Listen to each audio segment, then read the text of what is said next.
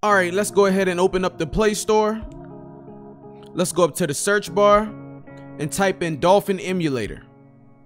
This is what the app should look like. Let's go ahead and install.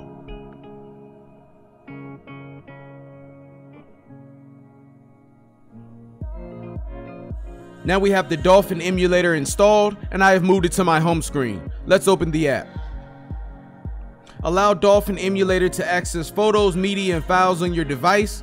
Click allow. This is basically just telling you that no private data is ever being collected. Click yes. All right, at this point guys, let's go ahead and turn our phones into landscape mode. All right, the first thing we're gonna do is upload our games into the emulator. So let's come down here to the plus button and locate the folder on your phone where you keep your GameCube games. In my case, I created a folder called GameCube, and this is where I keep my games. I have four games in here. You wanna click on select this and then your games are gonna load into the emulator and you're even gonna get some beautiful cover art. Now let's say you have an SD card inserted into your phone and this is where your GameCube games are located. To access those, you want to go back to the plus button and you want to double click on the folder at the top with the two dots beside it. Click once, click twice, and you're going to get to this folder. And your SD card is going to be the first option. In my case, it's 12D6 8F2C. Yours is probably going to say something different. You click on that and you're in your SD card. I don't have any games in here, but if you did, this is where you can access those games. Now let's go into our video settings, and that's going to be this little icon at the top.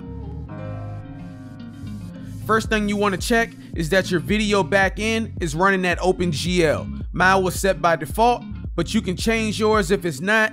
You have the option of running Vulkan or OpenGL. I prefer to run OpenGL. I find that works a lot better than Vulkan, but you can experience with that and see which one works best with your phone. Show FPS. I have a pretty powerful phone, so I don't need to see my frame rate while I'm playing, but if you do, you can click on Show FPS. Compile shaders before starting. This is optional. I prefer to do it. That way, once I'm in my game, I won't have any stuttering or anything like that. All of my shaders are load before I actually start my game, so I usually check this for smooth gameplay. Aspect ratio, let's go ahead and change this from auto to 416 by 9 because I'd rather play in widescreen. Now let's go to enhancements. Internal resolution, now this emulator can run games at 720p, 1080p, and even 4K. But once again, it all depends on how powerful your phone is. The best thing to do is play around with these settings and see what works best for you. I'm gonna go ahead and select four times. Another cool thing is that you can disable the fog. Makes distant objects more visible by removing fog, thus increasing the overall detail. Disabling fog will break some games which rely on proper fog emulation. This is optional. If you would like to click that, you can. I'm gonna leave mine unclicked. Widescreen hack. Since we're using 16 by 9 ratio, we can go ahead and select widescreen hack. And that's it. Let's go back.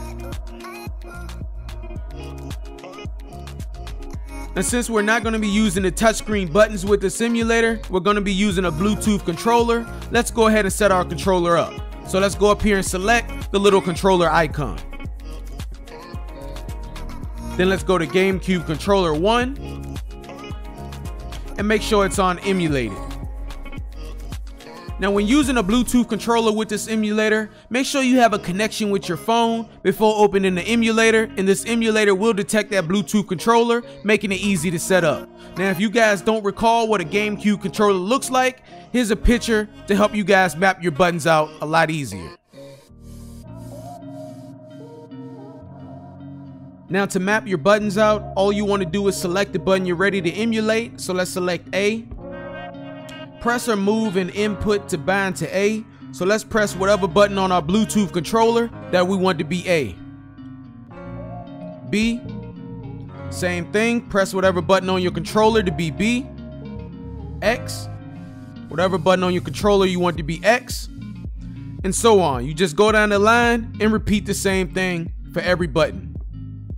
Alright, now let's go ahead and load up a game. I'm gonna select F-Zero. Now, if you guys notice, Even though we're using a Bluetooth controller, we still have those on-screen buttons showing, so let's get rid of those. What you wanna do is drag down from the top of the screen and click on the three dots to the right. Configure controls, go to toggle controls, and you wanna select toggle all. And there we go, our buttons are gone.